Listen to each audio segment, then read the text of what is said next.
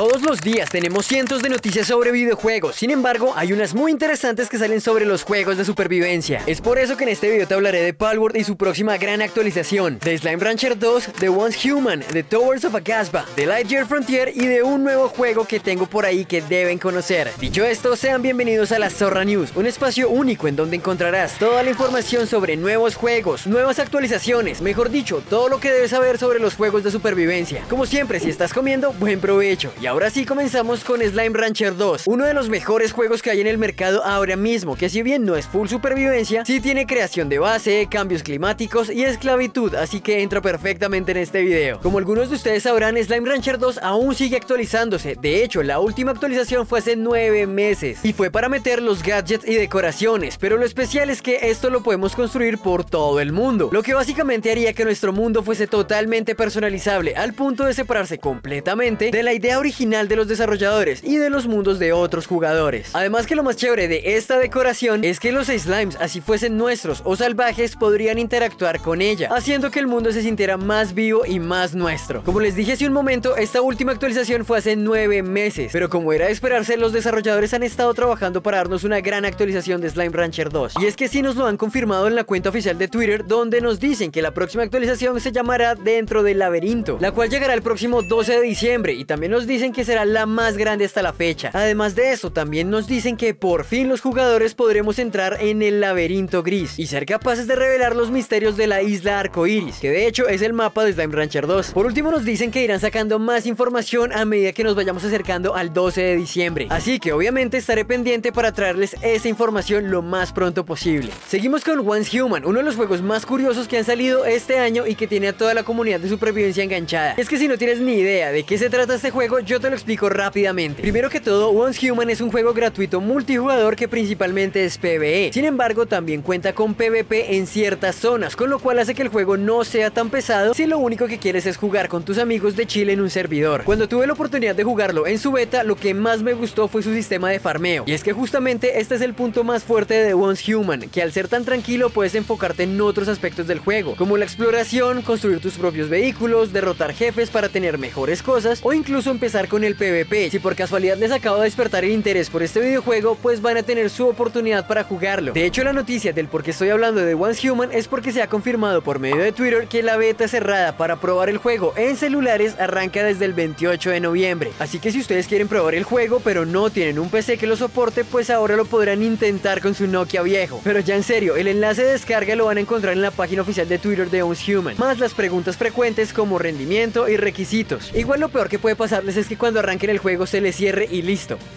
Creo que eso es lo peor que puede pasarles. Seguimos con uno de los juegos más tranquilos y divertidos que he podido probar a lo largo de este año, y me refiero a Lightyear Frontier, el cual ha lanzado su nueva actualización llamada Trailblazer. Y es que por si no lo sabían, en este juego podremos crear nuestra propia granjita ayudándonos por nuestro extraje robótico. Sin embargo, la gente estaba pidiendo el poder andar un poco más rápido por el mapa, y a los desarrolladores no se les ocurrió mejor cosa que ponerle ruedas y turbo a nuestro exotraje. Y para rematar, agregaron rampas que podremos construir a lo largo de todo el mapa para hacer nuestra propia pista. Eso sí, hay más cosas que trae esta actualización, pues también han agregado la vista en tercera persona para los que suelen jugar de esta manera. Y además, teniendo esto en cuenta, ahora podremos modificar el casco y el color de nuestro granjero, para que al menos sea un poco más interesante verlo en la pantalla. Ahora también los animalitos tienen animaciones cuando interactúan entre ellos, y si mojamos una vaquita, algo raro va a pasar, pero esto realmente no nos lo quisieron spoilear. Por último, han mejorado ciertos aspectos en la calidad de vida del juego, como poder andar más rápido por los caminos que construyamos y el día ahora dura mucho más, con lo cual podremos estar más tiempo explorando el mundo. Por último, solo me queda decirles que esta actualización gratuita de Lightyear Frontier la pueden tener desde ya si tienen Game Pass o si tienen el juego comprado. Pasamos a uno de los juegos que más ganas le tenía y me refiero al Towers of Agasba, uno de los juegos más recientes de supervivencia y que lo estuvimos jugando en stream por más de 6 horas. Y es gracias a esa experiencia que les traigo 5 cosas que deben conocer de Towers of Agasba por si acaso lo quieren comprar. Número 1. Lo primero es que tu base estará conformada por diferentes mini bases entre casas, granjas y otro tipo de estructuras prediseñadas. Número 2. En un principio el mundo parece bastante pobre, pues a duras penas vemos árboles y animales. Sin embargo, esto hace parte de la mecánica principal del juego, y es que a medida que vamos avanzando encontraremos semillas gigantes para plantar, y de esta manera volver a la vida los ecosistemas. Es decir, si queremos que salga cierto tipo de animal y plantas, pues deberemos sembrar una semilla específica en esa zona del mapa. Así es como iremos llenando poco a poco el mapa de vegetación y de animales, algo que me parece muy interesante. Número 3. Existen diferentes formas de moverse a través del mapa. Eso sí, todas se desbloquean conforme avanzamos en la historia. La primera de ellas son los teletransportes, que están repartidos por todo el mapa y que convenientemente tenemos uno en nuestra primera base. El segundo método es con la montura, que también tendremos más adelante. Y la tercera opción es el ala delta, que no tiene mucha explicación. Hombre subir alto, hombre tirarse, hombre ser feliz surcando los cielos. Número 4. Hablando de islas, por ahora en el juego hasta donde he podido ver hay 4 y cada una tiene sus propios desafíos y misiones, cada una siendo más difícil que la anterior y en donde tendremos que sí o sí plantar más semillas para tener nuevos recursos. Número 5 y último punto, el multijugador. Towers of Agasba sí tiene juego cooperativo, pero es un poco limitado. Básicamente es como era Grounded al principio, hay un host en la partida y todos deben unirse a su mundo. Todo el progreso que se haga se hará en el mundo del host y no en el personaje de los compañeros, ni las misiones ni nada. Básicamente desde el principio tendrán que decidir cuál va a ser el host para el próximo resto de juego. Esto puede resultar un poco frustrante para algunos, pero es lo que hay en este momento. Eso sí, al menos tiene cooperativo. Por otro lado, el multijugador se desbloquea avanzando un poco más en la historia, aunque me parece que debería estar un poco más rápido, pues más o menos vamos a demorarnos 40 minutos para poder desbloquearlo. Igual puede ser menos, pero es lo que yo he calculado. En mi opinión, Towers of Agasba tiene bastante potencial, siempre y cuando también mejoren un poco el rendimiento, porque sí noté ciertas fallas en él. Pero de resto es un juego que recomiendo, al menos por ahora, que no cuesta mucho, y porque sé que los desarrolladores ya tienen planeado el contenido de aquí hasta el 2026 y además que fueron muy rápidos añadiendo parche tan solo en una semana.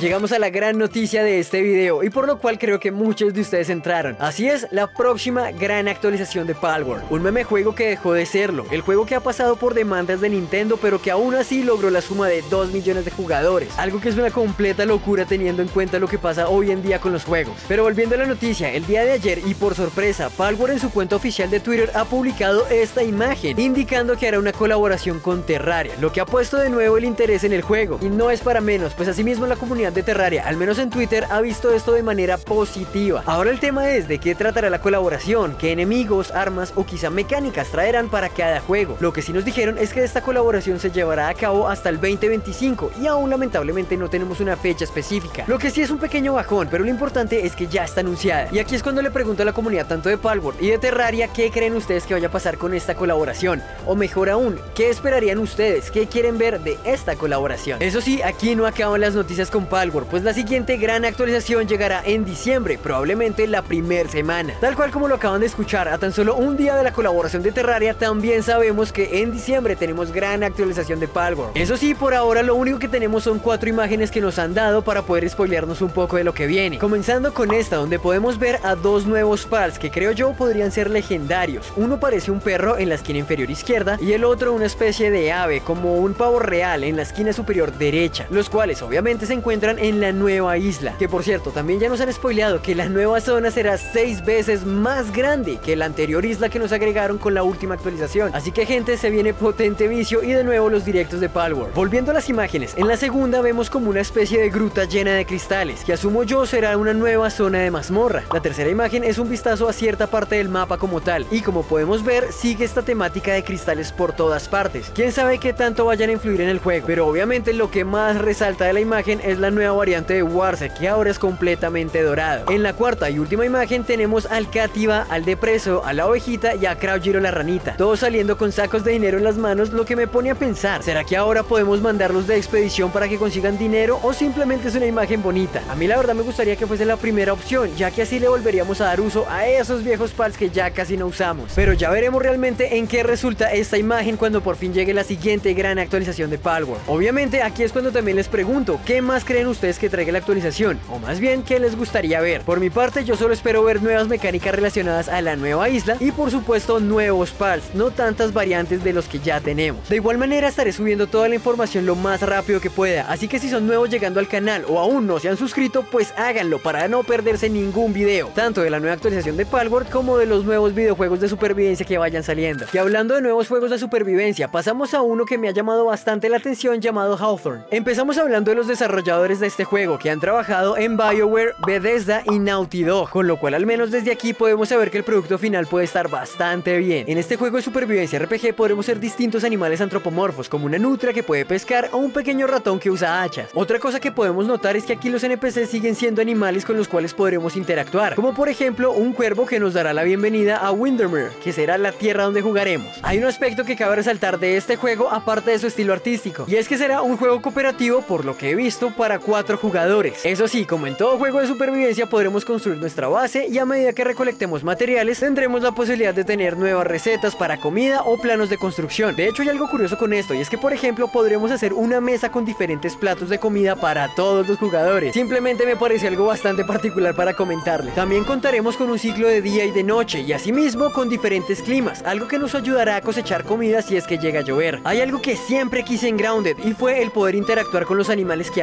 pues en este juego sí lo podremos hacer, como por ejemplo podremos recorrer grandes distancias si nos subimos en algún pájaro o incluso podremos pescar con su ayuda. Aunque curiosamente en la vida real ese pájaro ya nos hubiera comido si fuéramos una rata. Hawthorne aún sigue en desarrollo, pero viendo lo avanzado que está el juego tan solo en este tráiler, podría decir que su acceso anticipado saldrá el siguiente año. De igual manera les estaré trayendo toda la información tanto de este juego como de todos los demás que salgan de supervivencia, así que recuerden suscribirse. De hecho, justo aquí te dejo un video especialmente para ti para que sigas enterado de todo lo que pasa en el mundo de los juegos de supervivencia. Gracias por haber visto este video y nos vemos con más Zorra News, una producción de la Zorra Gaming. Hasta pronto.